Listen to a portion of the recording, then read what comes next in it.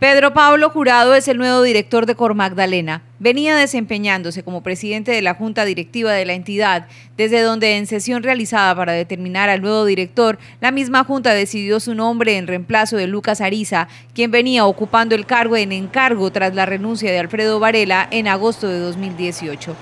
Entre la baraja de candidatos al cargo en propiedad de hojas de vida enviadas por el presidente de la República estaban Lucas Ariza, Pedro Pablo Jurado, Luis Fernando Cabrera y Enrique Carvajales, en donde por unanimidad se decidió a Jurado como el nuevo director. Pedro Pablo Jurado es abogado con maestría en Derecho Público y especialización en contratación estatal. Su mayor reto ahora al frente de la entidad es la adjudicación del nuevo proyecto de asociación pública privada para la recuperación del río Magdalena APP.